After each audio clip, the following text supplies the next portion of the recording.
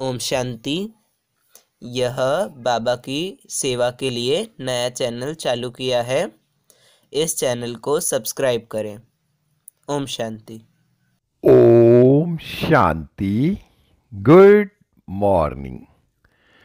पाँच मार्च 2022 मीठे मीठे बाबा के मीठे मीठे प्यारे प्यारे महावाक्य। हम मीठे मीठे प्यारे प्यारे बच्चों के लिए। आज बाबा बोले, मीठे बच्चे, जी बाबा, बाप से तुम्हें सुमत मिली है। तुम्हारी बुद्धि का ताला खुला है, इसलिए तुम्हारा कर्तव्य है सबको अपनी बुद्धि का सहयोग देना। मीठे बच्चे बाप से तुम्हें सुमत मिली है। तुम्हारी बुद्धि का ताला खुला है। इसलिए तुम्हारा कर्तव्य है सबको अपनी बुद्धि का सहयोग देना। आज बाबा ने प्रश्न में पूछा, संगम युग पर तुम बच्चों के अंदर कौन सी आश उत्पन्न होती है, जो बाप ही पूरी करते हैं? संगम युग पर तुम बच्चों के अंदर कौन सी आश उत्पन्न होती है जो बाप ही पूरी करते हैं? उत्तर में बाबा ने कहा, संगम पर तुम बच्चों में स्वर्ग जाने की आश उत्पन्न होती है। पहले कभी सोचा भी नहीं था कि हम कोई स्वर्ग में जाएँगे।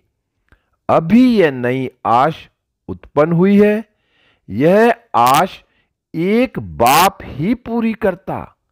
यह आश पूरी होने के बाद फिर कोई आश नहीं रहेगी। गायन भी है। अप्राप्त नहीं कोई वस्तु देवताओं के खजाने में। गीत चला, आखिर वह दिन आया आज।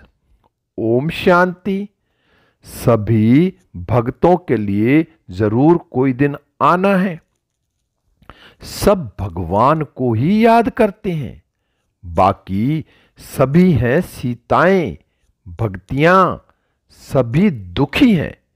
याद करते करते आखिर वह दिन आता है, जबकि बाप आकर हाथ पकड़ते हैं। उनको खिवैया बागवान पतित पावन भी कहा जाता है। अब बच्चे जानते हैं, हमने एक का हाथ पकड़ा है, नास्तिक से आस्तिक बने हैं। बाप ने बच्चों को अपना परिचय दे, अपना बनाया है, वर्षा देने के लिए। बाप से ही वर्षा मिलता है ना? अब यह है बेहद का बाप। परम पिता, इसलिए सब बच्चे जो भक्त हैं, वे सब उनको याद करते हैं। परंतु यह बात भक्त नहीं समझते। कितना धूमधाम से बाजे गाजे बजाते तीरथ पर जाते हैं, कुंभ के मेले लगते हैं वेद शास्त्र आदि पढ़ते हैं यह सब है भक्ति मार्ग की सामग्री। इसलिए भगवान को याद करते हैं कि वह आकर इस दुर्गति से छुड़ाए। पुकारते रहते हैं, परंतु बाप का किसको पता नहीं। जिसको बाप का पता ना हो, वह जैसे बच्चा ही नहीं। बाप को ना जानने कारण नास्तिक बनने कारण दुख ही दुख है। बाप का बच्चा बनने से सदा सुख ही सुख है। बाप है स्वर्ग का रचयिता। वहाँ सभी तो नहीं चलेंगे। लिमिटेड नंबर ही आएँगे बाप से वर्षा लेने। बाकी सब धर्म वाले मुक्ति का वर्षा लेने आते हैं। लेना सबको बाप से ही है। बाबा कहते, अभी मैं तुमको सहज से सहज बात समझाता हूँ। बस मुझ अपने बाप को याद करो और यह बाप ही समझाते हैं कि पाँच हज़ार वर्ष पहले भी तुम मिले थे, हर पाँच हज़ार वर्ष के बाद मिलते रहेंगे। अपने लिए तो जैसे पुरानी बात है कल्प कल्प तुम राज्य गवाते हो और फिर पाते हो। चौरासी जन्म तुम ही लेते हो, यह है बहुत जन्मों के अंत का जन्म। तुम समझते हो, हम पहले शीर सागर में थे फिर आकर विशेष सागर में फंसे हैं। शीर सागर व विशेष सागर कोई है नहीं, परंतु पावन थे, फिर माया रावण ने पतित बनाया, अब फिर बाप पावन बनाने आए हैं। गीत में भी कहते हैं, आखिर वह दिन आया आज। भक्ति मार्ग में तुमको कोई यह आश नहीं थी कि हम स्वर्ग के मालिक बने। यह बात तो बुद्धि में थी ही नहीं। यह बाबा ही बहुत गीता पढ़ते थे, सुनते थे, परंतु यह आश नहीं थी कि हम राजयोग सीख नर से नारायण बनेंगे। तो अनायास ही बाप ने आकर प्रवेश किया। बाबा कहते हैं, मैं अब तुम्हारी स्वर्ग की आश पूर्ण करने आया हूँ। अब स्वर्ग में चलने की आश बुद्धि में धारण करो। स्वर्ग का रचयिता है बाप। वह बहुत सहज रीति बैठ समझाते हैं। हाँ, काम महाशत्रु है, यह तो सन्यासी भी कहते हैं, इसलिए घर बार छोड़ देते हैं। वह तो हुई एक दो की बात। उनका निवृत्ति मार्ग का पाठ ड्रामा में है। है तो वह भी भक्त। गॉड फादर कहते हैं, लेकिन वह कौन है, यह नहीं जानते। फिर कहते हैं, भज राधे गोविंद, किसको भजे? कृष्ण का नाम फिर गोविंद रख दिया है। जो सुना है, वह लिख दिया है। भला गोविंद किसको कहें? गौओं को चराने वाला मुरली सुनाने वाला तो एक बाप ही है। है भी ह्यूमन गौ की बात। आगे तुम भी कुछ नहीं समझते थे। अभी बाप ने आकर सुमत दी है।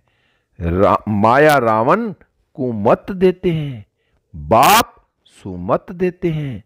सुमत है शिव बाबा की, कुमत है रावण की। सुमत माना श्रीमत, कुमत माना झूठी मत। अभी तुम कंट्रास्ट को जानते हो। बाबा कहते, अभी तुम कंट्रास्ट को जानते हो। हम झूठी मत पर थे, स्वर्ग की आश तो थी नहीं। अभी बाप ने नई आश प्रकट की है। वहाँ कोई अप्राप्त वस्तु नहीं जिसके लिए माथा मारना पड़े। अब तुम सबकी नई आश है। भल पुरुषार्थ नंबर वार करते हो। बाप तो नंबर वन मत देते हैं ना। कहते हैं, यह तो ऐसा है जो ब्रह्मा भी उतर आए तो भी उनकी मत नहीं लेंगे। यह पिछाड़ी की महिमा है। तुम्हारी महिमा पिछाड़ी में गाई जाएगी। जब तुम संपूर्ण बन जाएँगे, तब वाह वाह निकलेगी। अभी तो चढ़ते गिरते रहते हैं। अभी अभी खुशी में नाचते, अभी अभी मुर्दा बन जा पड़ते। माया भिन्न भिन्न प्रकार से ठोकर मार देती है।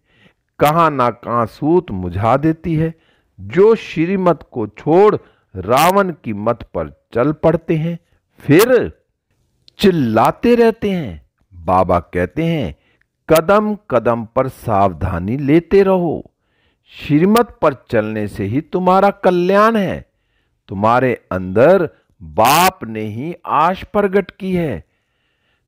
तुम्हारे अंदर बाप ने ही आश प्रगट की है ना?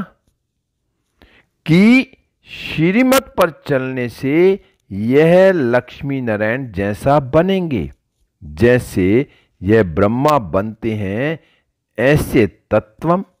यह बात भूलो मत, परंतु माया ऐसी है जो श्रीमत लेने का चांस ही नहीं देती। कहाँ कहाँ उल्टा काम करा देती है। करके फिर पीछे आकर कहेंगे बाबा, हम यह काम कर बैठे, टाइम नहीं मिला जो राय लेवें, अब क्या करें? माया ने तुमको थप्पड़ मारा, इसमें बाप क्या करेंगे? हर बात में कदम कदम पर बड़ी सावधानी चाहिए। सन्यासी कभी नहीं कहेंगे, स्त्री पुरुष इकट्ठे रह पवित्र रह सकते हैं। इसमें युक्ति बहुत है। ब्रह्मा कुमार कुमारी, कहलाना कितनी बड़ी युक्ति है। तुम बच्चे ब्राह्मण, ब्राह्मणिया बनते हो तो कहाँ कुल को कलंक नहीं लगाना? भाई बहन भाई का नाता कभी उल्टा नहीं होता। ला नहीं, जो बहन भाई आपस में शादी करें। यहाँ तो सब भाई बहन हैं। बाबा ने कहा, यहाँ तो सब भाई बहन हो जाते हैं। इस पर वो लोग हँसते हैं। कि यह फिर कहाँ का रिवाज है? यह तो है ही नहीं बात। ऐसी राय कभी कोई दे ना सके। कोई पूछे, तुम बीके हो तो भाई बहन हो गए तो बुद्धि में बिठाना है, क्योंकि सबकी बुद्धि का ताला बंद है, पत्थर बुद्धि है तो तुमको उनकी बुद्धि का ताला खोलना चाहिए। ढेर के ढेर सेंटर्स हैं। उनमें सभी अपने को ब्रह्मा कुमार कुमारियाँ कहलाते हैं। तो भाई बहन ठहरे ना, वह क्रिमिनल असाल्ट कर ना सकें। इम्पॉसिबल है। यह तो नई रचना है ईश्वर की। वह कहते हैं, गीता में तो कभी सुना नहीं है। बाप कहते हैं, यह तो मैं तुमको सिखलाता हूँ। फिर तो ना शिव बाबा होगा, ना बीके होंगे। यह ज्ञान प्राय लोप हो जाएगा। फिर कहाँ सुन सकेंगे? अभी मैं तुमको राजयोग सिखला रहा हूँ। जब राजधानी की स्थापना पूरी हो जाएगी तो फिर यह सब खलाश हो जाएगा। पांडवों ने राजधानी स्थापन की, यह भी शास्त्रों में नहीं है। देवताएँ तो थे पावन दुनिया के मालिक, दैत्य है पति तो दुनिया के। इनों की फिर आपस में लड़ाई कैसे लग सकती? स्वर्ग से नरक में लड़ाई करेंगे क्या? अच्छा भला असुरों और देवताओं की लड़ाई कैसे लगी? ज़रूर संगम होना चाहिए। वह अपना लक्षर लश्कर ले आकर लड़ाई करें। हिसाब ही नहीं बैठता। जहाँ असुर हैं, वहाँ देवता कोई है नहीं। जहाँ देवता हैं, वहाँ असुर नहीं। तो फिर लड़ाई कैसे लग सकती? कौरवों पांडवों की लड़ाई भी लग ना सके। जो श्रीमत पर चलते हैं, वह कभी किसको लड़ेंगे कैसे? लड़ाने वाले हैं मनुष्य। बाप लड़ने व जुआ खेलने की छुट्टी नहीं दे सकते। पांडव कोई मूर्ख थोड़े ही थे जो जुआ खेलेंगे व आपस में लड़ेंगे। बाप ने समझाया है।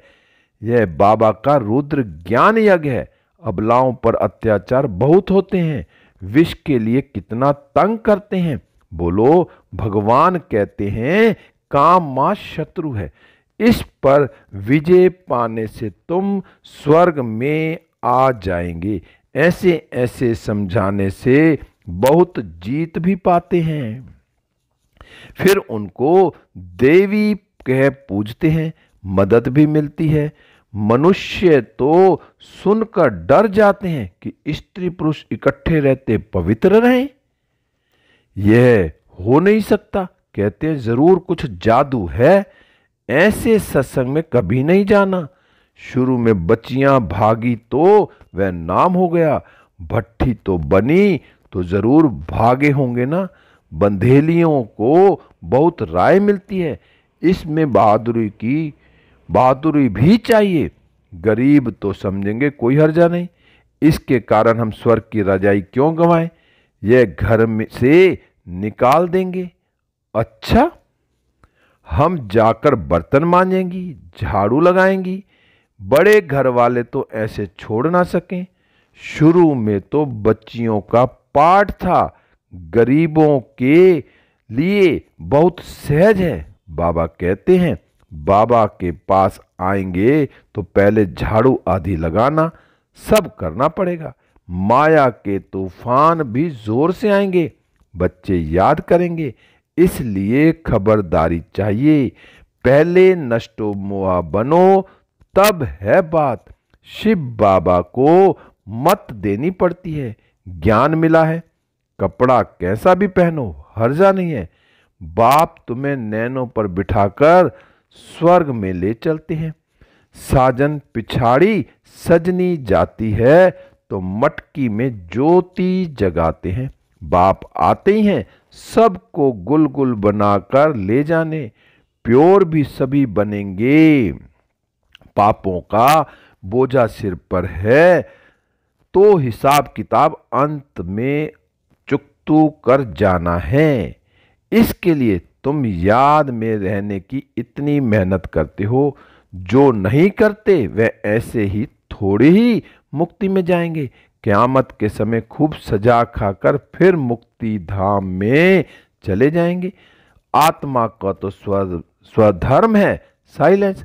हम अशरीरी हो बैठते हैं, इन कर्म इंद्रियों से काम नहीं लेते हैं, चुप हो बैठ जाते हैं, परंतु कब तक?